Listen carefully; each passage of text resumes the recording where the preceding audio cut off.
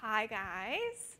Um, thank you all for sticking with us. I know it's a long day. I know our brains are full of all the really use, useful, valuable information that we've been getting so far today. I know we're all excited about the Housewares show that starts tomorrow and going to check out all these new products. Um, but I'm really honored and excited to be here with you for the next 45 minutes talking about something that is very near and dear to my heart and something that I think that we don't talk enough about, which is how to pitch brands and accurately price your work. And I will say I have been in this industry for 11 years now, and I have been on tons and tons of panels, but this is my first time speaking by myself on a stage. Full disclosure. Um, since, since my solo in the Christmas play in fifth grade, so you guys are here for like my debut return performance, and when people were asking me earlier if I was nervous, uh, my answer was, I'm not nervous about being on the stage in front of you all. I'm an Enneagram 4, so I love it when things are all about me. But what makes me nervous about standing in front of you today is I want you to feel like you walk away from my talk thinking, oh my gosh, so much valuable information, so many actionable tips because you're paying good money to be here and you're spending your time to be here. And I want this to feel really, really useful and juicy for you. Uh, so I have some, some concrete action items for you. I have like some insider tips and I'm gonna reveal some of my secrets. But just as important, I want you guys to walk away feeling like you got the biggest confidence shot in the butt. And I want you to feel like the total badasses that you are because we're here talking about influencer marketing, and influencer marketing wouldn't exist without you, the influencers. You are so important. Your voice is valuable, your perspective is valuable. The audience that you spend day in and day out building, brands want access to that, and I want you to guard it and protect it and cherish it like the precious entity that it is. So that's my goal for today's talk. Um, you can see my website and my Instagram handle here, as well as Influenced and the Instagram handle for Influence. And I'll talk a little more about Influence throughout, um, throughout my talk. So, oh, I have the slides. I have the slide changer here. There we go. So this is me Anne Sage. Um, I'll tell you a little bit about what I've spent the last 11 years doing. I graduated from college with a degree in English. And I moved to New York City thinking I wanted to be an interior designer. And I was going to get my master's in interior design at the Pratt Institute. I had spent my childhood going to the Laura Ashley store with my mom to pick out my bedroom furniture. I loved interior design. And after about eight weeks at Pratt, I learned I really did not want to be an interior designer. I did not care about measuring things. I just wanted to make things pretty. And frankly, I didn't want to be a student anymore. So I got a job at um, an ad agency in New York City and learned a lot about consumer strategy and graphic design, but all the while I was sending resumes to Martha Stewart Living and Real Simple because I wanted to be an editor. Who wouldn't want to be an editor living in New York City in 2006, right? But without the relationships in the publishing industry, it just wasn't happening for me. And a mentor said, this is in 2008, why don't you just start a blog? It'll be creative outlet, a running resume. It'll just at least be fun and a way to get this urge that is clearly inside of you out. So that's what I did. Well, actually, the backstory is a friend of me also started a blog, and I started my blog the next day. I was like, I'll be damned if she's going to have a blog and I don't. So I started my blog in 2008, um, and I was still working at, at the ad agency, but I started to really love the community aspect of blogging. And if any of you guys have been around for that long, or even kind of that long in the blogging world, you know that it used to be all about going to each other's blogs and commenting every day and you had your blog roll that you know you would all your friends would be on your blog roll and the social media part or the social part of social media that's what it was all about. And I really started to thrive on that. And I started going to conferences. I was at the first alt conference. And, and it was like, oh my gosh, there's really something to this thing that we're doing. But we weren't in it to make money. We were in it because we loved talking about this stuff and we loved the friends we were making. And so we just kept doing it because we were passionate about it. fast forward 11 years, I've written a book about interior design. I've started an online magazine, which has since changed hands like three times. I started a magazine called Rue Magazine. Um, I have built a full-time career with my social media presence. I have started a photo studio that was furnished entirely on trade with brands for all the materials we needed for the build out. I have renovated my kitchen through social media trades. I have now since started doing interior design for clients, even though I decided, you know, 15 years ago I didn't want to be an interior designer. So it's become this really rich and fruitful career that didn't exist when I started. And with that has come this wild west, nebulous, how the hell are we all going to make money off of this? So I have partnered with countless brands for paid and product trade collaborations. And we'll talk a little more about some of the nuances between pricing yourself for those two different types of collaborations. One of the questions that I get asked so, so much is how do I price myself?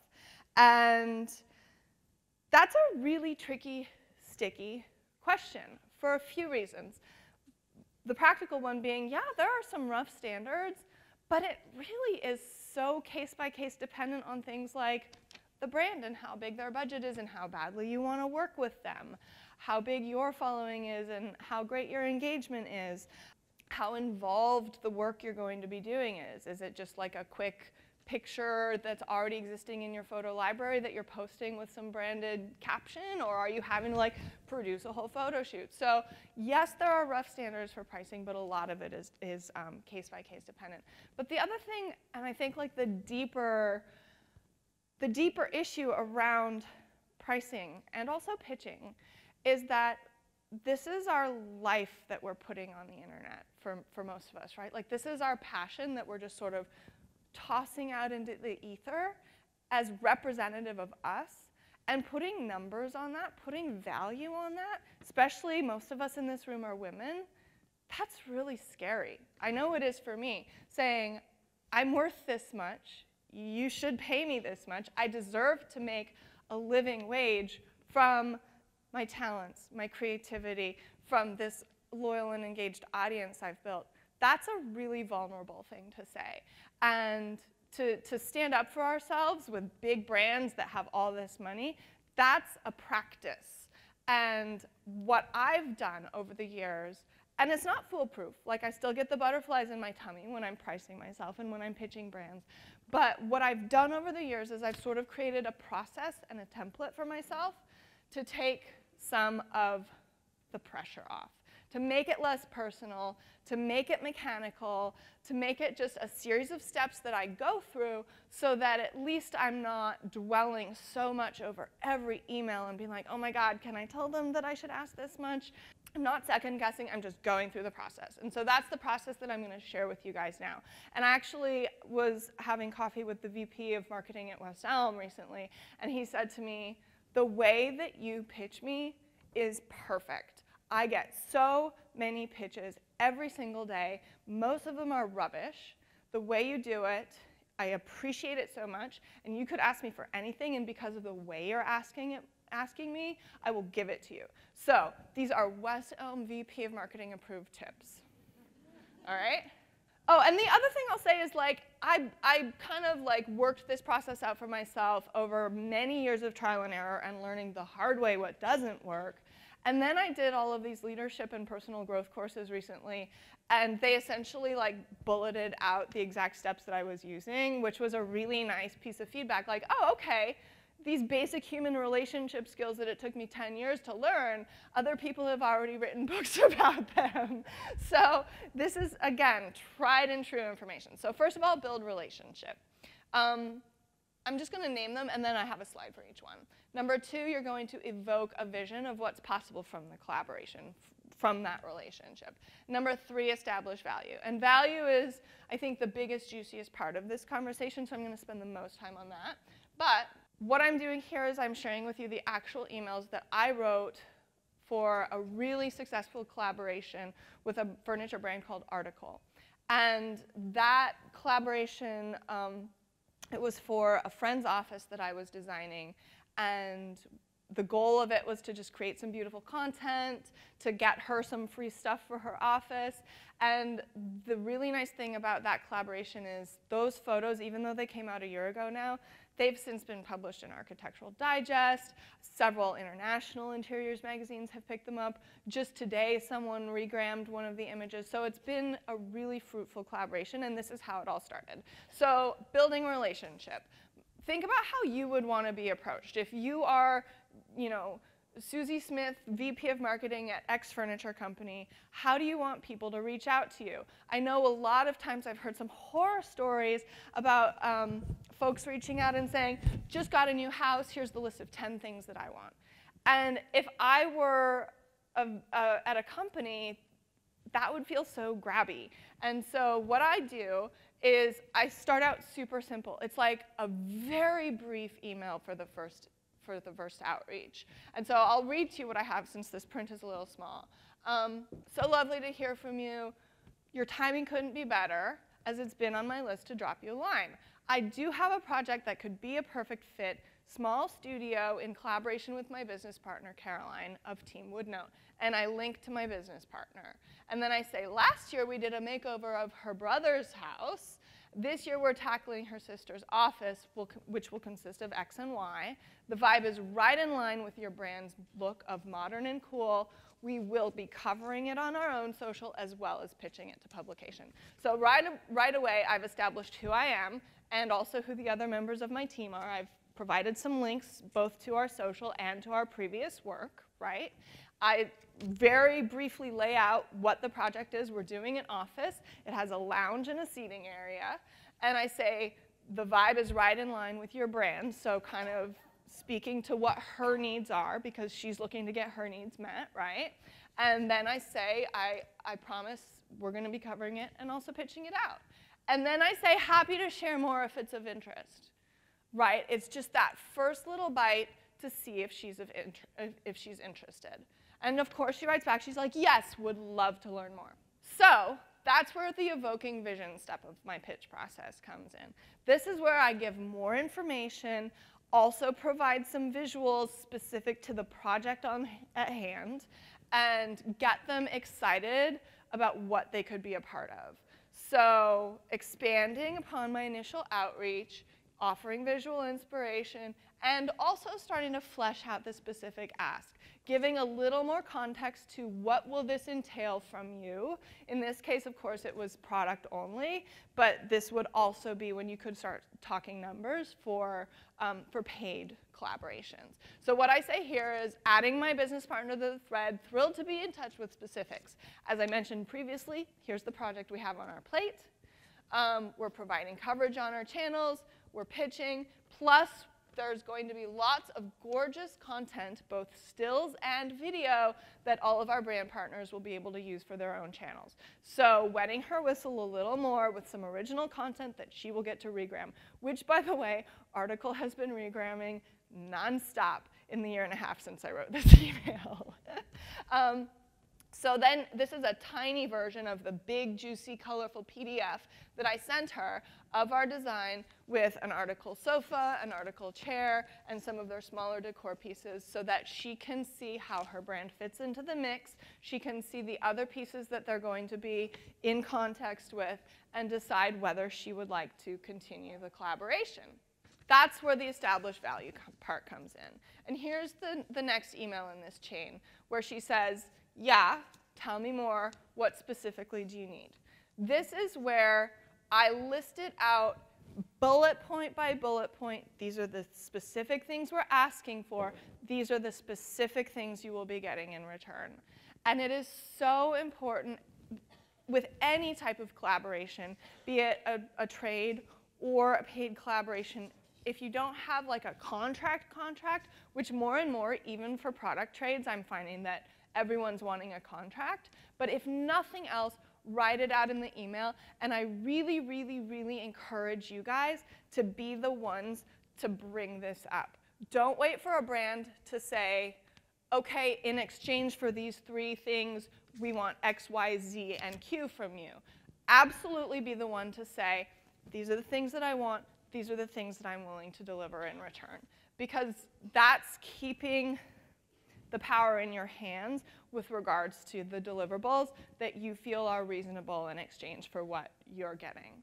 Um, and so here it's just, you know, a list of product with links and the deliverables very clearly laid out. And then also down at the bottom here, asking for some material samples to get the project kicked off, but bada bing, bada boom. And then I also have, this is for a separate but similar collaboration I did with Build.com for a kitchen, where I full on just made a spreadsheet.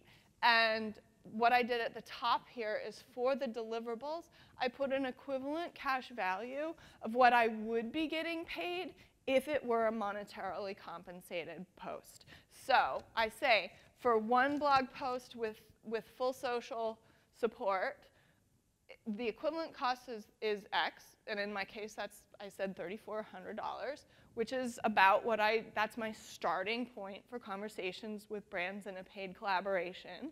Um, and I bullet out each deliverable that the brand can expect from me and the dollar value if I were getting paid.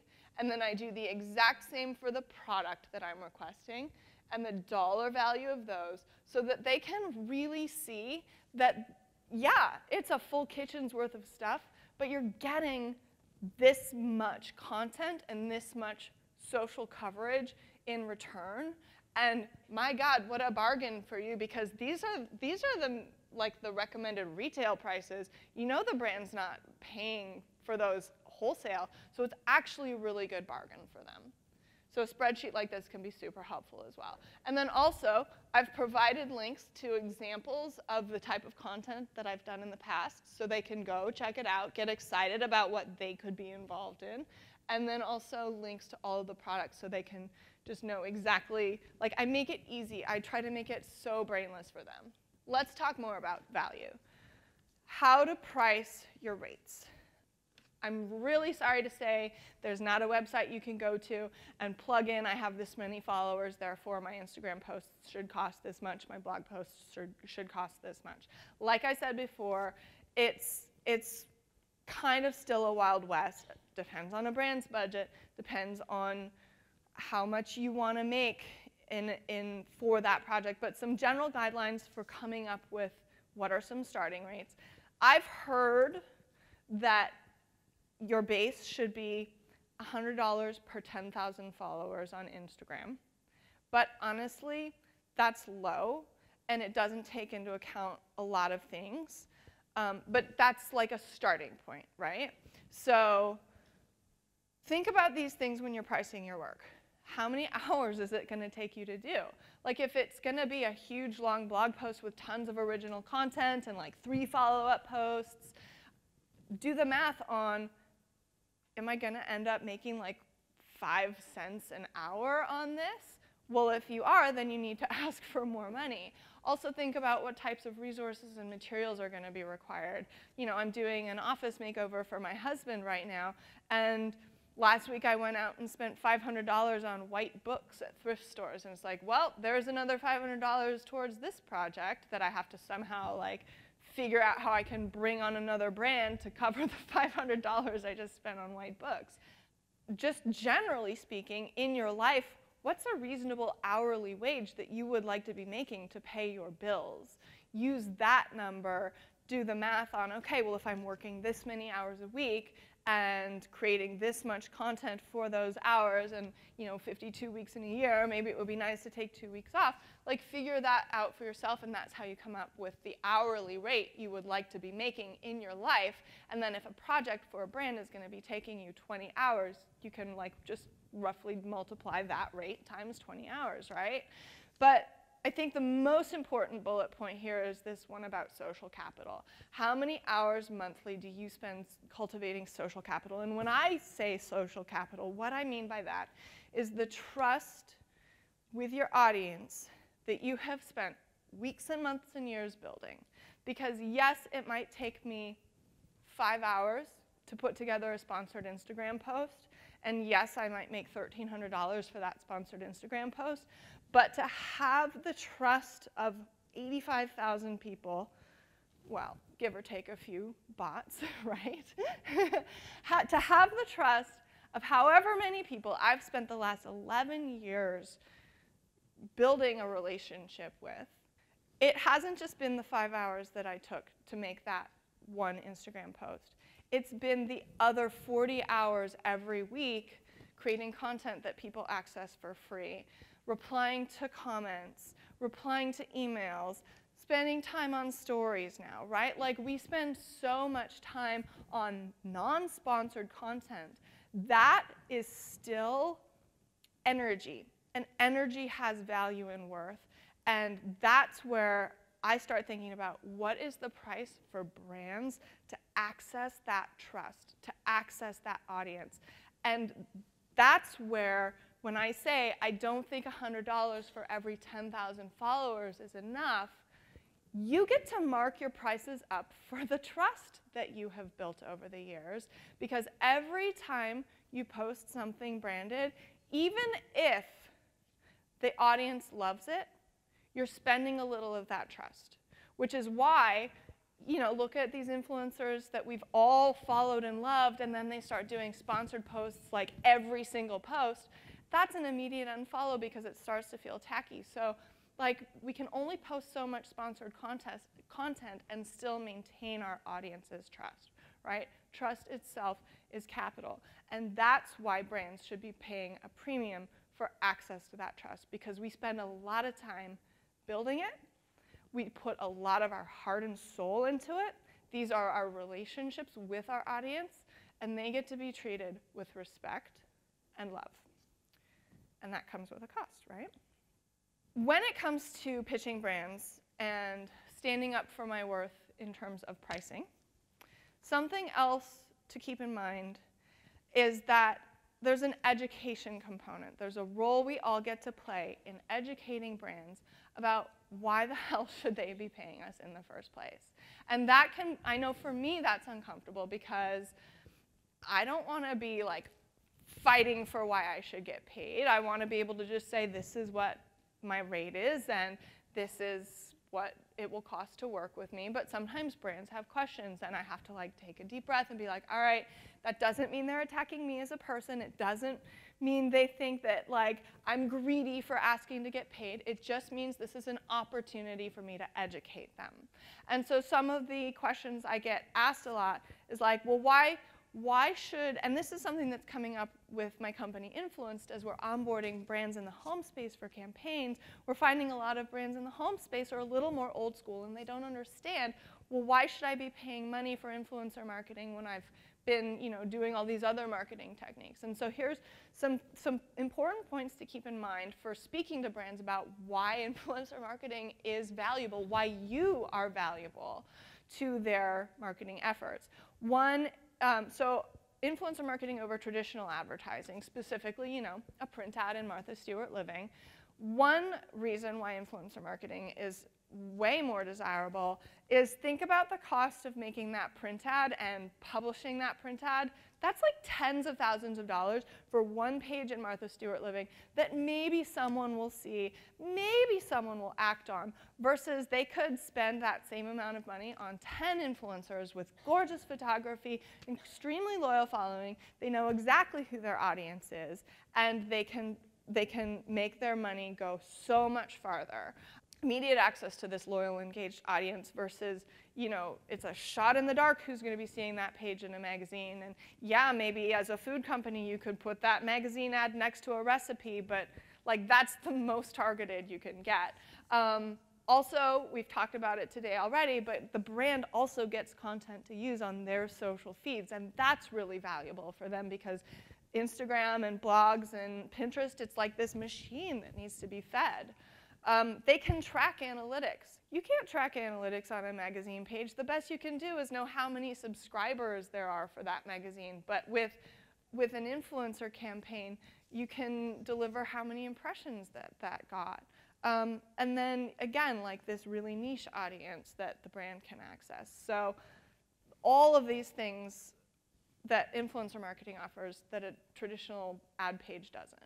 Traditional PR. So that's another one that I get asked. Well, why can't I just send my product to an editor and hope that they publish it in a gift guide? Well, yeah, you could do that. But there's no guarantee that that editor is going to put that product in a gift guide. And you're not going to get to decide who that product is next to in the gift guide. It could be next to one of your competitors, right? There are fewer and fewer magazines and editors even to speak to. A friend of mine who does beauty PR, she's like, yeah, when I go to New York for desk sides now, it's like, I can't even get in because there's three editors that every single PR person in the, in, on the planet wants to talk to. So there's like all these influencers. There's no editors left. There's a guaranteed placement if they work with you versus this shot in the dark. Uh, so that's another speaking point when it comes to why influencer marketing is much more powerful than traditional PR. And then here's the big one. What does paid influencer marketing offer over just simple product trades? Because a lot of brands are like, well, why can't I just send you my lamp and you'll put it on your Instagram and everyone will be happy? Well, obviously, we as influencers won't be happy because we can't pay our rent with lamps. But when the brand is paying you, they get a little more, obviously. They get things like they get to decide what the timeline is. Clearly, if I'm getting paid for something, I can reasonably prioritize putting that up, doing the work to create the content, posting it, over something that is not paid. If a brand sends me a lamp, I can be like, yeah, maybe I'll get to this in the next two months, thanks for the lamp. But if we have a contract that says, you're paying me $1,200 to put this post up next week and you're expecting it, like I treat that very, very seriously because it's my business, right? Um, the brand gets to have more say in the messaging. If a brand sends me a lamp on trade, I can talk about it however I want. You know, I'm going to talk about it nicely if I want to keep the relationship. But when it comes to having like bullet point messaging for a campaign that they might have, the brand gets to have a say in that if they're paying you. And then also they can obtain additional content for their own use. So right now I have um, a project I'm working on with Canon, and it's the first time I've seen this where they only want one Instagram post from me, but they also want five additional images, not that I'll be posting, but for them to use. That's really valuable for them, and it's no sweat off my back. I'm already shooting the printer for my office, right? So what's the big deal in giving them five more images?